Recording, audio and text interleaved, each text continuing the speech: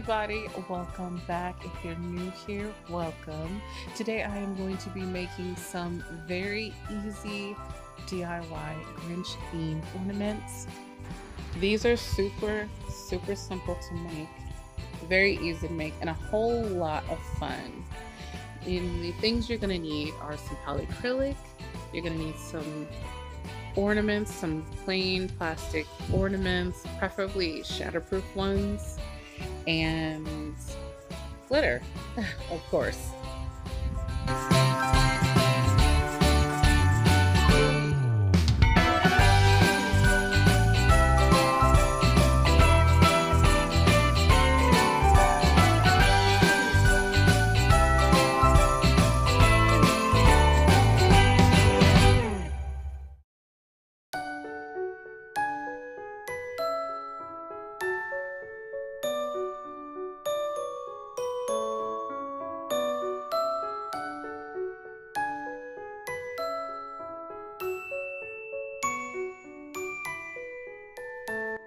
So to get the polycrylic into my ornaments, I am using this little pipette. You can get these on Amazon.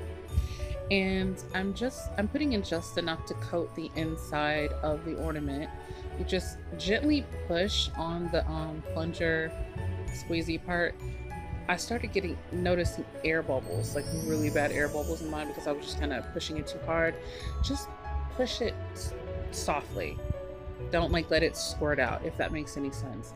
But yeah, it'll prevent the um, air bubbles, which I figure out later. But you just roll the ornament around a little, make sure you're coating the entire inside, and then you lay it upside down onto a cup or balance it on something so the um, polyacrylic can drain out. The extra polyacrylic can drain out. And just let it sit a while until it starts to turn clear.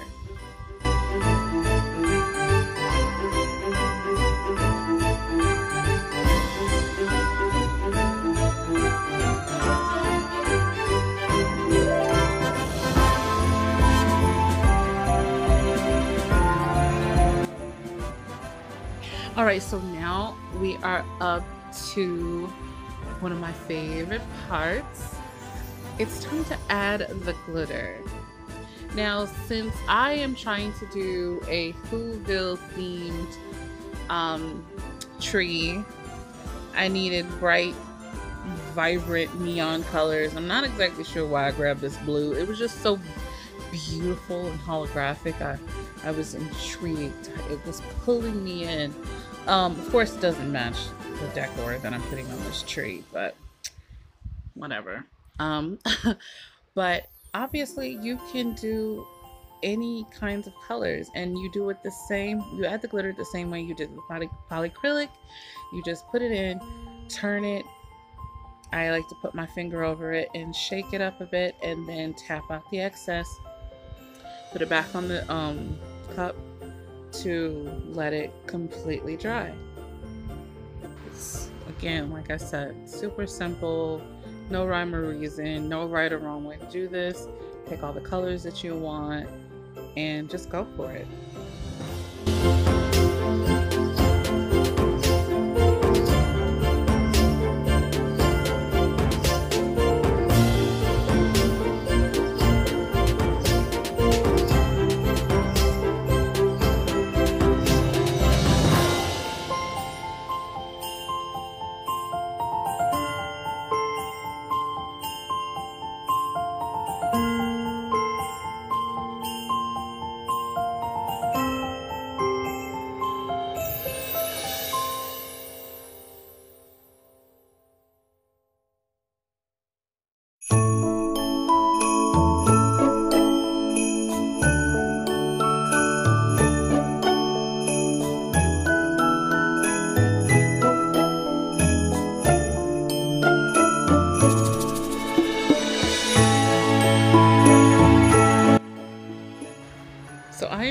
My Cricut Explorer 2 to cut out some various shapes and stuff that I want to add to my ornaments.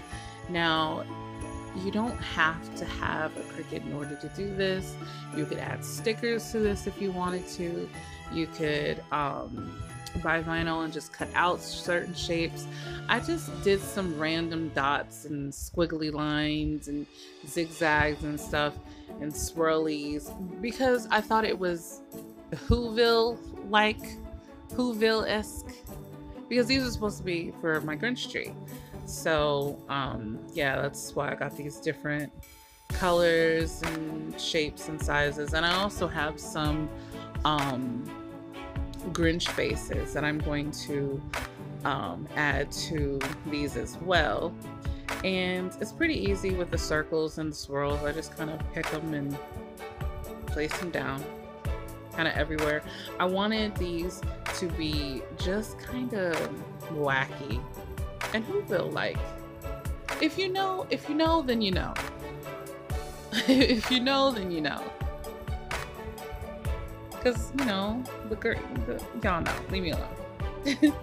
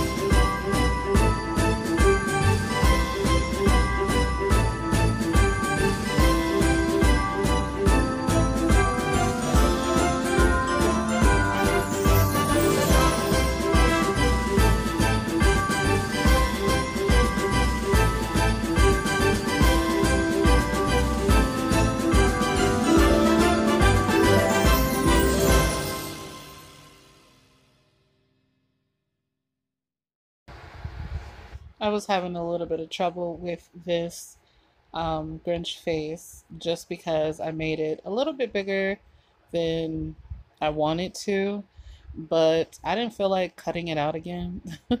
so I was very determined to make it work, and it looks really good. I suppose the size is okay, but just working on a curved surface like that definitely makes it more difficult.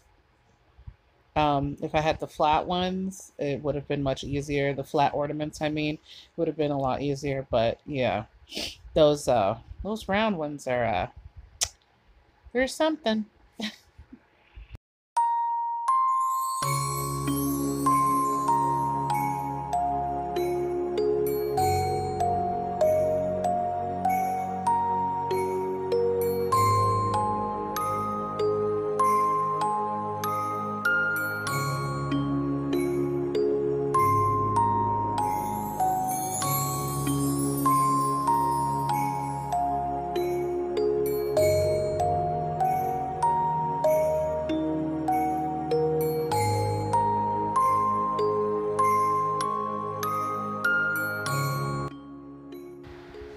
I started having a similar issue um, with this one, with the O, um, because the ornament is so round, the O just wasn't laying properly and it was folding over and bubbling and I could not for the life of me get it to lay flat so I just gave it a little snippety do a little snippety do uh, I amuse myself too often anyway um I just snipped it a little and um that worked out you can really can't really even you barely can tell I don't think you can tell at all I mean, unless you're like really, really close to it. But other than that, yeah, looks pretty good.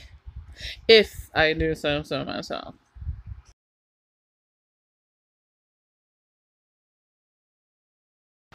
Okay, so they are completely dry. I let them sit for about five hours to maybe overnight. Um, really depends. I'm usually too impatient to wait overnight, but I did get busy doing other things, so these sat overnight.